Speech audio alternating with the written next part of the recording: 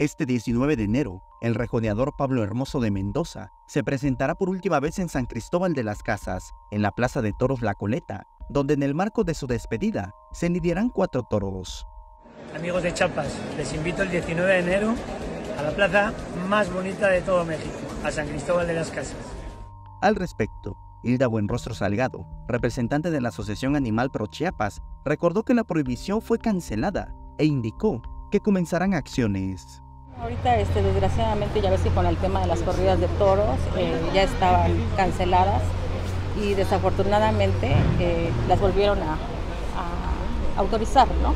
Entonces ahorita se está viendo ese tema, ¿no? Sobre organizarnos, toda la población en general, las asociaciones, eh, para iniciar con ese tema.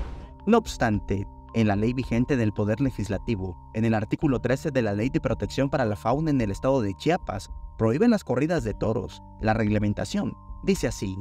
Se prohíbe asusar animales o provocar que se acometan entre ellos, o hacer de las peleas, así como provocadas, un espectáculo público o privado.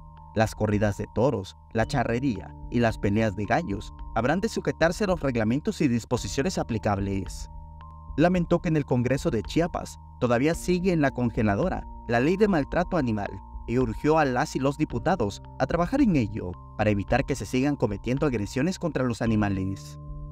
Bueno, hasta donde sabemos, eh, sinceramente nos han comentado que no han pasado ninguna, ninguna, ninguna por... Eh, pues por la necedad, la verdad que nos han dicho que esos temas no pasan, no pasan, lo de, lo de la ayuda animal, lo del maltrato animal, eh, son temas que no han pasado, que están negados.